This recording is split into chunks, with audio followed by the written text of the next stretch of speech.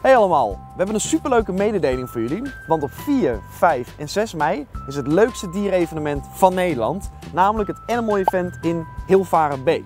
En als je een dierenliefhebber bent, dan moet je daar echt heen. Want alle dieren die je kunt bedenken zijn er. Welke dieren zijn er allemaal? Ja, honden, katten, reptielen, vogels, vissen. Schapen, ook. konijnen, ehm, eh, koeien, paarden. Alles. Er is ontzettend veel te zien en te leren. Ja, want er zijn heel veel gave shows, clinics, workshops. Wat ik ook heel erg vet vind. Je mag je eigen hond ook meenemen. Oh, gaaf. Superleuk. En als je een kat met een riempje hebt, dan mag je natuurlijk ook mee. Ja, of je slang. Nee, nee, dat gaat weer net wat te mal, hè? Nee, geen slang. Als je geen een slang en wil een meenemen, mag je een slang Ja. meenemen. Maar laat die slang allemaal liever gewoon thuis. Ja. En wat ook heel erg gaaf is, wij hebben op Animal Event een Dierenpraat Mainstage. En op die Dierenpraat Mainstage nodigen wij zaterdag en zondag super interessante gasten uit. Jullie kunnen hieronder ook meedenken welke gasten jullie zouden willen zien. Maar ik heb al wel een aantal ideeën wie ik zou willen interviewen. Namelijk bijvoorbeeld iemand van Doggy Dance. En jij? Eh, ik zou die van de reddingshonden, dat lijkt me heel gaaf. Wauw, dat vind ik ook wel interessant. Of een Ja. kattentherapeut of gewoon alles wat je kan bedenken met dieren is op Animal Event. En Jullie kunnen natuurlijk ook een meet and greet met Brit of met mij krijgen. Of natuurlijk met Matsie. ja, Matsie komt ook mee. En jullie mogen Matsie allemaal ontmoeten en met Matsie knuffelen en met hem spelen. Ja, Matsie, jij hebt er ook heel veel zin in. En wil je er nou heen? Wij hebben iets heel erg leuks. Want wat kunnen wij geven aan onze dierenpraatkijkers? 20% korting op jullie toegangskaartje. En voor de info erover, kijk even hieronder. Ja, Mats, heb je er zin in? Oké, nou wij zien jullie allemaal op Animal Event. Matsie gaat er alvast heen. Tot dan. Tot dan! Hoi allemaal, leuk dat jullie kijken naar een nieuwe aflevering van Dierenpraat TV. In de vorige aflevering heb ik jullie geleerd hoe je een hond commando sit kunt aanleren. En in deze aflevering gaan we leren hoe je een hond kunt laten liggen. Blijf kijken! Als je hond het commando sit helemaal onder controle heeft, kun je een stapje verder gaan. Namelijk het commando af. En daarvoor kun je verschillende woorden gebruiken. Sommige mensen gebruiken het woord down. Sommige mensen gebruiken het woord liggen. Maar ik vind het woord af het beste om te gebruiken, want het is gewoon kort en krachtig. Af, nu, af, af, af, af. Hoe ga je dat nou aanleren? Nou, dat ga ik jullie in zeven stappen uitleggen. Maar daarvoor heb ik wel even een assistent nodig. En mijn assistent is een beetje op hol. Matsie is een beetje op hol geslagen. Hij gaat alle kanten op. Dus het wordt vandaag een super lastige training. Want Matsie is pas 9 maanden oud. En het is een beagle. Weet je, dit soort dingen zijn altijd wat makkelijker aan te leren aan bijvoorbeeld een golden retriever of een labrador of honden die... Ja, nou in ieder geval Matsie, een beagle, is echt vrij lastig. Maar we gaan het proberen. En wat ik gewoon keer op keer ondervind, is dat je met geduld heel erg ver komt. Weet je, wij mensen denken vaak van... Kom op, weet je, liggen, doe het gewoon. Of kom op zitten, ga gewoon. Of kom gewoon nu hier. Ehm, een jonge hond is gewoon ja, druk en gek. En wat ik al in de vorige aflevering vertelde, we spreken een andere taal. Als honden naar elkaar blaffen, snappen wij ook niet wat ze zeggen. En als wij tegen een hond zeggen af, dan snapt hij ook niet meteen wat je bedoelt. Dus blijf altijd rustig. En oefen het gewoon niet uren achter elkaar, want dan heeft het geen zin meer. Als je hond op een gegeven moment echt afgeleid is, dan is hij ook gewoon echt afgeleid. Matsie heeft ondertussen weer een botje. En ik snap niet hoe hij daaraan komt, want ik heb dus alle botjes verstopt, omdat er geen afleiding moet zijn. Dat vertelde ik ook bij als je een hond zitten gaat aanleren.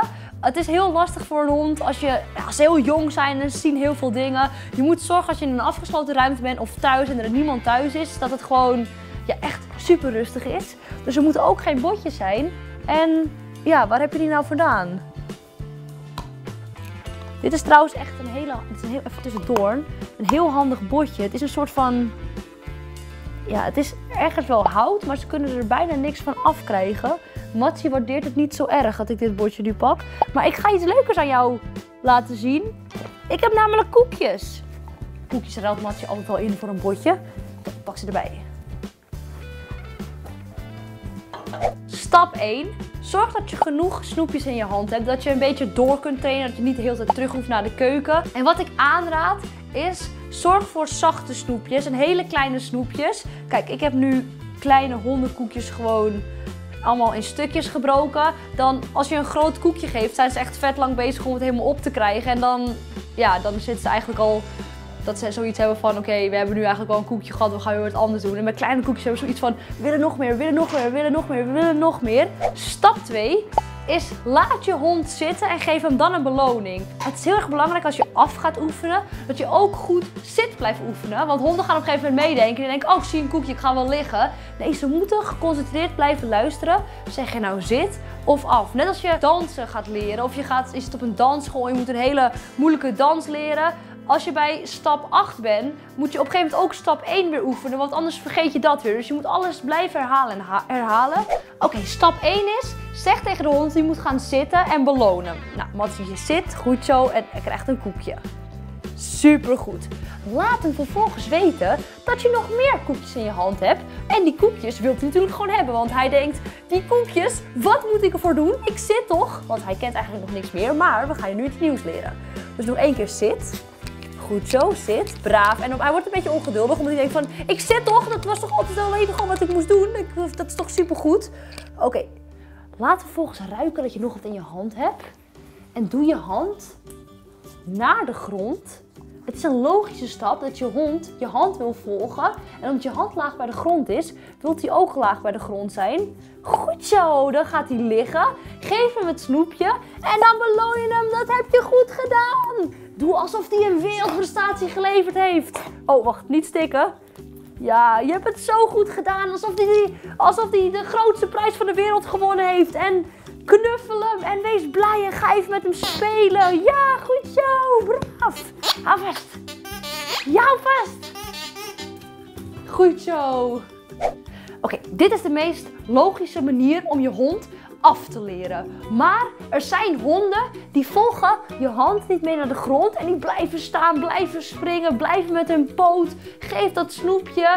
Dan is er nog een andere noodoplossing en die ga ik jullie nu vertellen.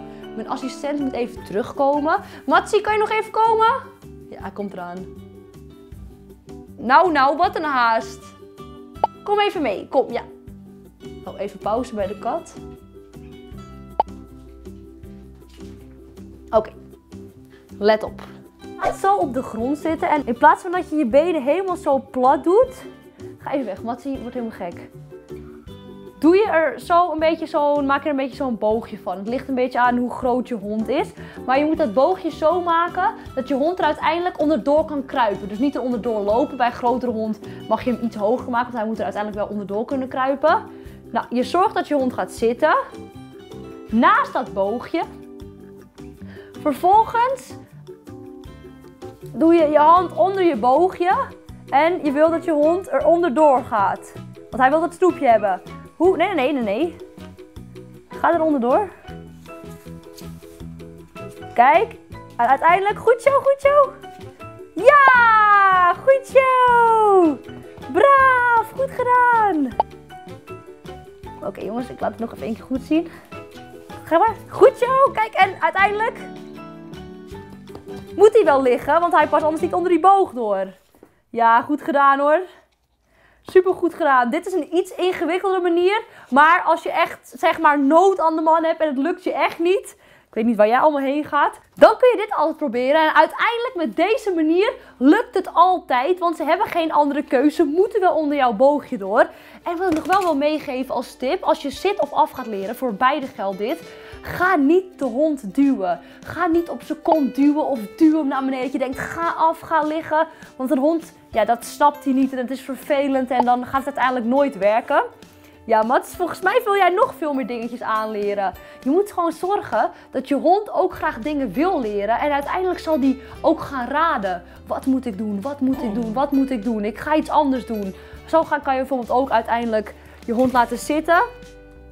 Ga zitten zit. Goed zo. En op een gegeven moment wil je een pootje aanleren. Hij gaat toch al naar je hand slaan.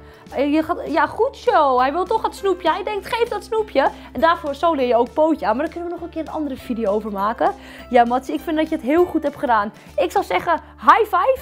Geef je duim. En jullie ook je duim. Doe een duimpje omhoog als je de video leuk vond. Vergeet niet te abonneren als je dat nog niet gedaan hebt. En laat me in een reactie weten als jullie vaker van dit soort video's willen. En wat je nog meer zou willen leren. Want dan kunnen we dat voor jullie opnemen. Nou, voor nu dank voor het kijken en tot volgende week.